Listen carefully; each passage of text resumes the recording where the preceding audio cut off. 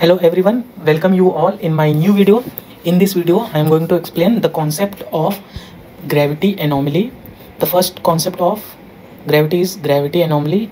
Then after i'm going to explain how to calculate the gravity anomaly over a buried sphere and the maximum gravity anomaly for a buried sphere. Then after i'm going to explain the concept of half width height concept. Then excess mass formula and the problem based on that. So our first topic is gravity anomaly and density contrast. So first we will understand what is density contrast. Suppose a body is intruded in some rock where if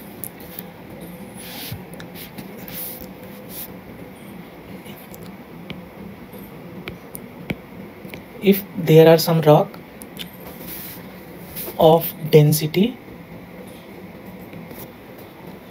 rho 1 if there are some rock of density rho 1 density rho, rho 1 and some body is intruded on that and the density of that object is rho 2 so the density contrast will be del rho which is given by rho 2 minus rho 1 that is the density of that intruded object minus den density of host rock. So this is the concept of density contrast. So now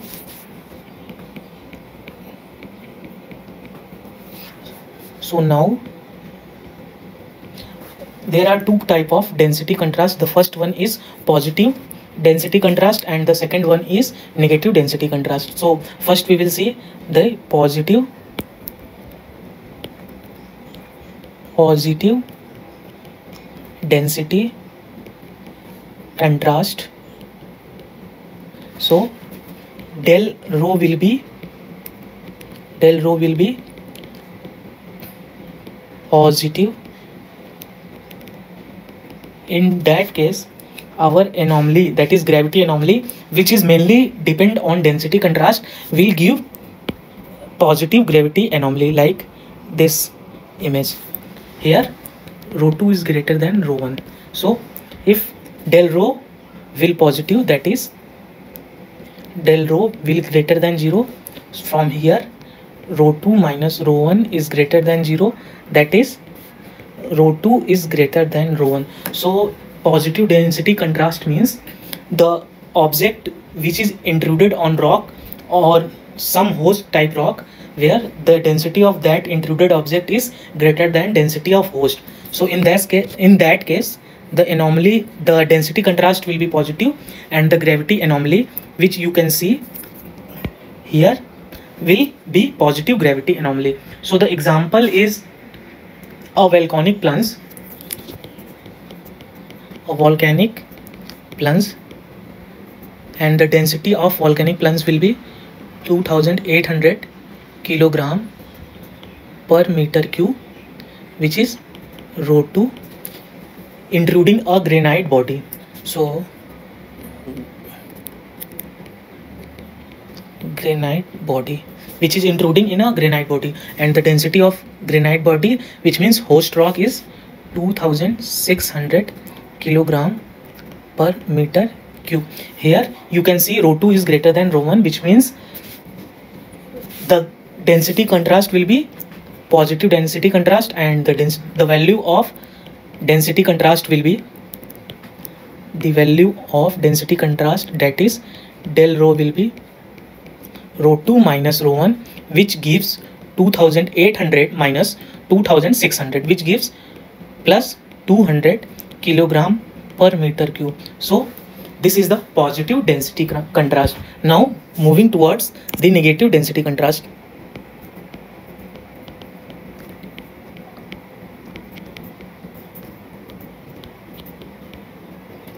so in case of negative density contrast del rho will be negative. Del rho will be negative. Which means del rho is less than 0 del rho is less than 0 or rho 2 minus rho 1 is less than 0 or rho 2 is less than rho 1 in this case the anomaly will be sorry density contrast will be negative so the example will be a low density sand dome a low density salt dome a, a low density salt dome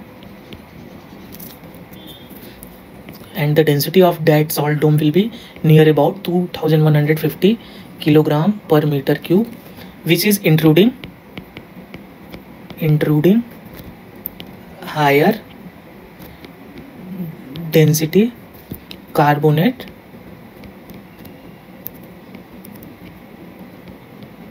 carbonate rocks so some kind of salt dome which is intruded in higher density carbonate rock and the density of that carbonate rocks will be 2500 kilogram per meter cube so density contrast del rho will be rho 2 minus rho 1 rho 2 means the object which is intruded which is salt dome 2150 minus rho 1 that is 500 2500 which gives negative of 350 kilogram per meter cube. So this is the concept of negative density contrast. Now we are moving towards the concept which is based on the how to calculate the value of gravity anomaly due to buried sphere so in case of buried sphere we will calculate the anomaly that is gravity anomaly. So simply as you know if consider a a is a buried sphere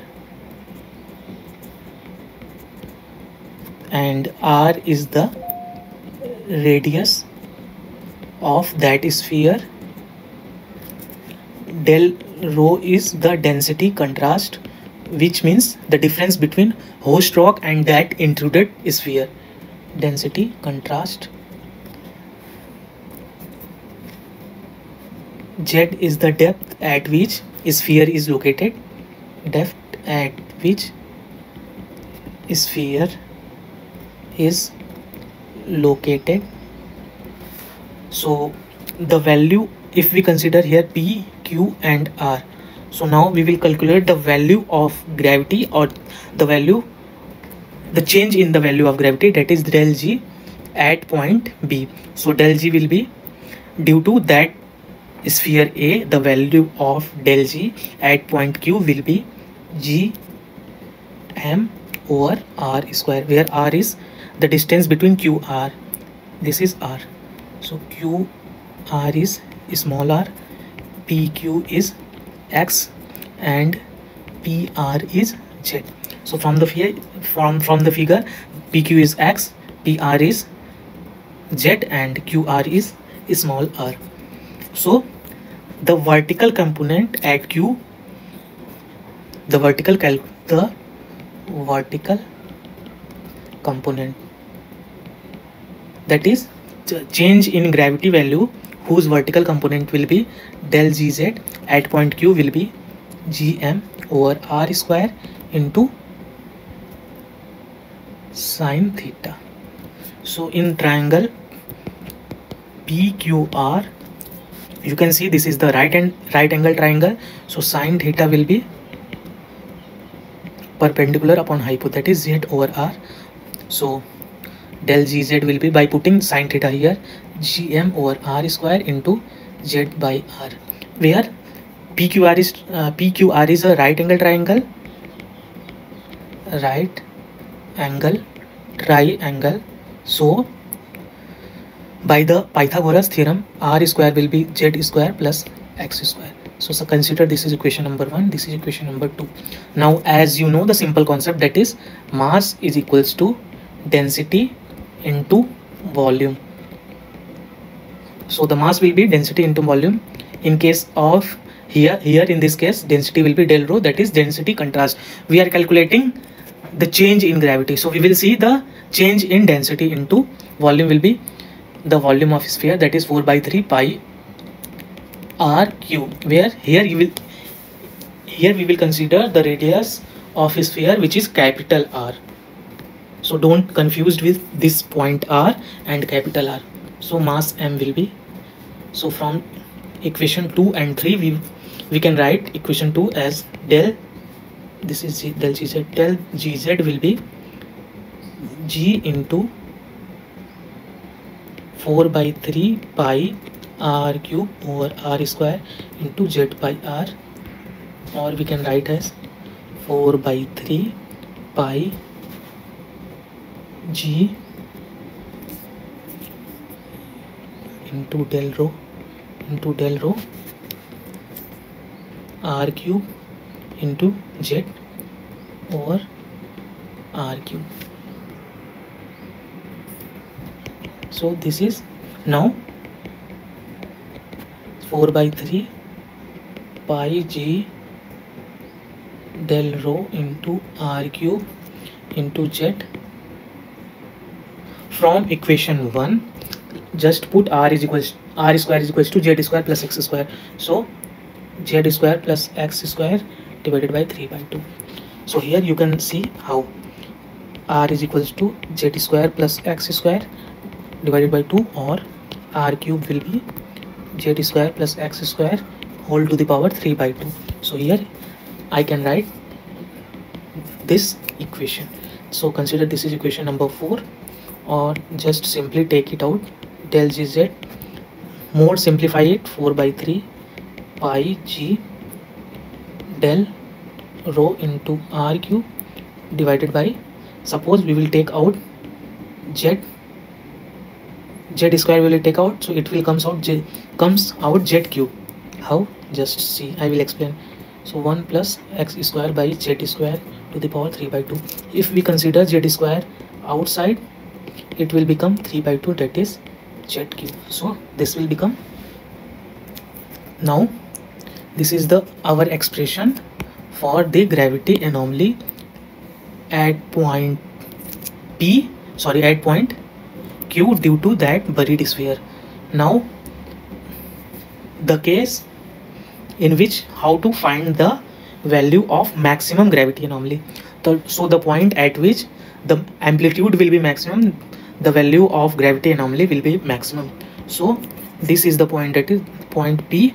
At point p the value of amplitude is zero that is x will be zero. This x will be zero will gives the maximum gravity anomaly. So at point p the amplitude will be maximum. Amplitude will be maximum. So del gz becomes del g0 and x become 0 so above equation can write can be written as del g0 is equals to 4 by 3 pi g into in bracket del rho r cube divided by z square. This z and this cube will cancel out and give z square. So z square in bracket 1 over 1 plus 0 which gives 1 so so this is the value of this is the value of maximum gravity anomaly due to buried sphere. So we got the two formula that is gravity anomaly of a sphere and the maximum gravity anomaly due to buried sphere now we will continue toward the concept of we will moving towards the concept of half height width. That is the depth that is the width of the anomaly where the amplitude the width of the anomaly that is w where the amplitude was where the amplitude will be the half of the maximum amplitude which means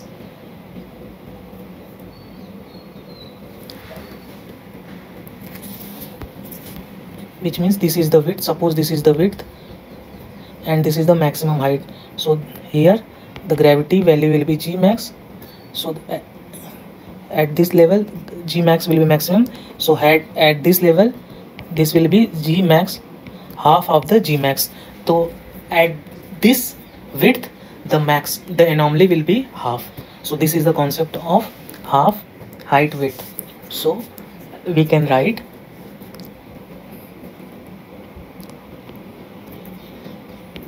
the width of the anomaly where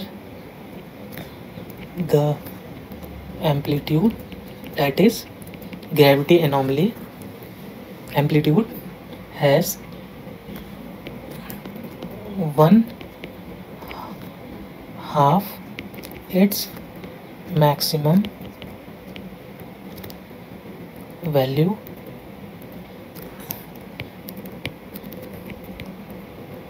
is called half height with half height with so as you know the as you know the maximum gravity anomaly is del g zero which is given by four by three pi g del rho into r q divided by z square and vertical gravity anomaly that is del gz which is given by this equation which is 4 by 3 pi g 4 by 4 by 3 pi g del rho r cube over z square into in bracket 1 plus or you can write here we will take this equation number 4 that is z over z square plus x square whole to the power three by two so this is the maximum gravity anomaly value and the gravity anomaly value at point q so from the half with half height with condition at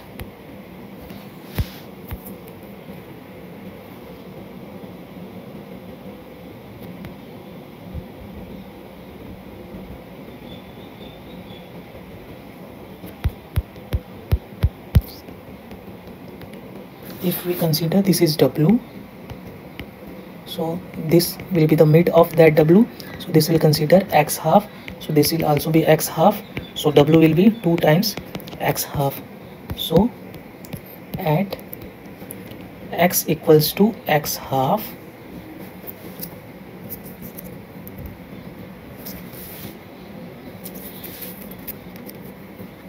Del g z will be half of del g max.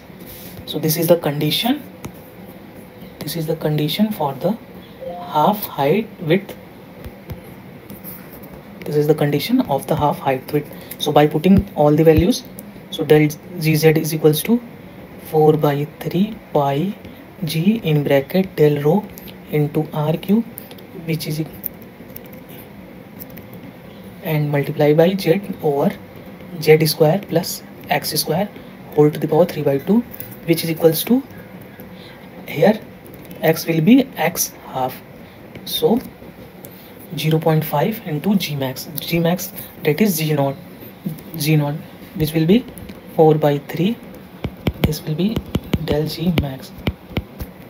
4 by 3 into pi into g into del rho into r cube divided by z square so after can after after simplifying 4 by 3 4 by 3 pi g pi and g will be cancelled out del rho r cube del rho r cube will be cancelled out so we will get 0 0.5 upon z square here you can write 0 0.5 upon z square and on left hand side we will get z over z square plus x half square whole to the power 3 by 2 or by cross multiplication we will get z cube is equals to 0 0.5 into z square plus x half whole square whole to the power 3 by 2 or we can write 2 into z cube which is equals to z square plus x half whole to the power 3 by by squaring we will get four z के power six will be z square plus x half square whole to the power three so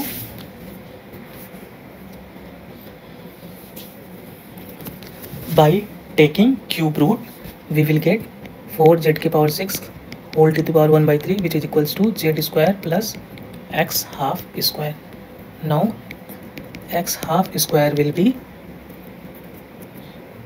4 to the power 1 by 3 into z square minus z square which will gives x half will gives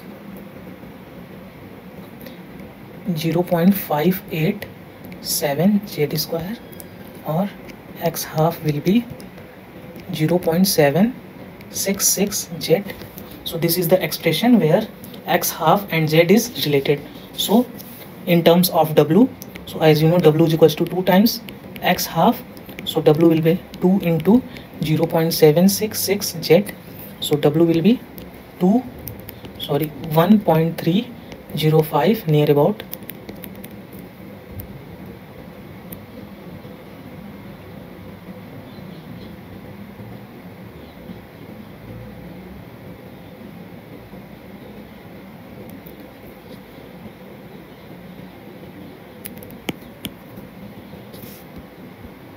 so w is equals to 2 into x half or w is equals to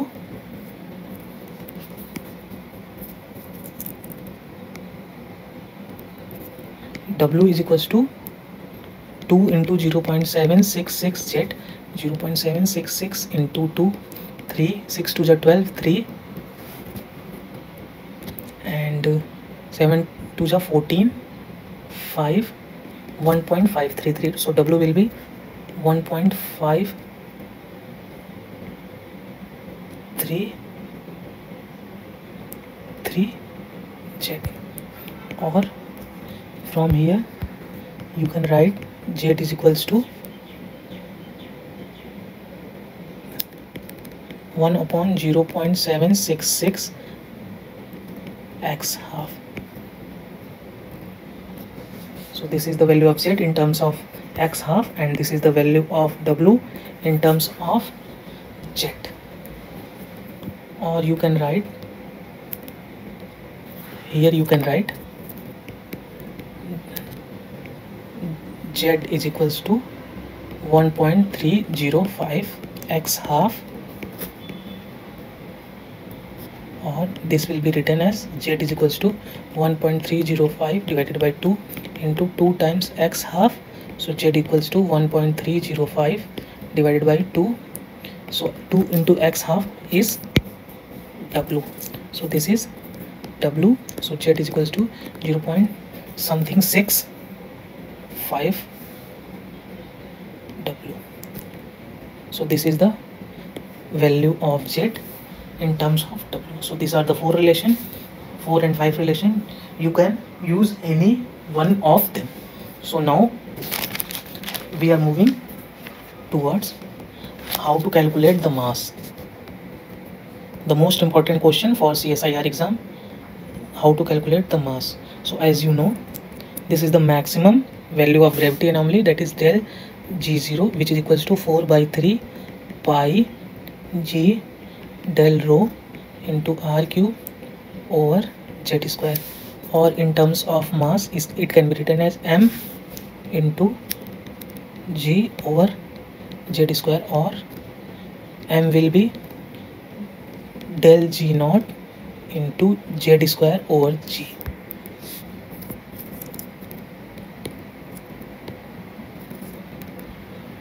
Or excess mass del into g del g naught into z square divided by g which is also written as del g max into z square divided by g. So as you know z is equals to 1.305 x half.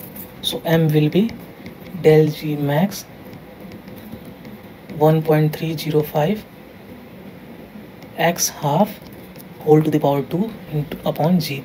So by putting the value of g and after simplifying we will get m is equals to 255 into del g max into x half square.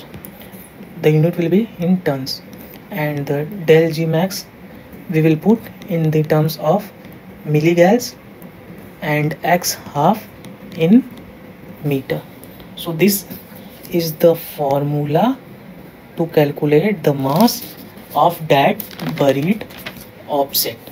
So here up to here this is the important for the value of gravity anomaly now we are moving towards the problem which is based on the gravity anomaly suppose given as in the question a spherical cavity of radius 8 meter. So capital R capital R which is 8 meter a spherical cavity of radius 8 meter has its center 15 meter below the surface. So z will be 15 meter. If the cavity is full of the sediment of density that is rho 2 is equals to 1.5 into 10 to the power 3 kilogram per meter cube and is in the rock the body of the density is rho 1 that is 2.4 into 10 to the power 3 kilogram per meter cube the maximum value of its gravity anomaly is. So the here density contrast will be rho 2 minus rho 1 which will be 1.5 into 10 to the power minus 3 minus 2.4 into 10 to the power plus 3 sorry this is the plus 3 so this will be in minus minus 0 point something about 0 0.9 into 10 to the power 3 kilogram per meter cube so here the density contrast is negative so now we have to calculate the maximum value of gravity anomaly so the maximum value of gravity anomaly which is given by del z0 or del z max del z0 or del z max will be 4 by 3 pi g in bracket del rho into r cube divided by z square so up to here is it clear so 4 by 3 pi will be 3.14 or you can take as 22 by 7 g will be 6.67 into 10 to the power minus 11 del rho will be minus 0.9 minus 0.9 into 10 to the power 3 into r cube will be 8 ka cube because r is the radius and the value of r is 8 divided by z. Z is 15 whole to the power 2 after simplifying we will get del g max will be minus of 0.05719 milligal. So this is the value of maximum gravity anomaly. So i hope you will like the video. So please subscribe the channel and share the video with your friends. Thank you so much. Thank you once again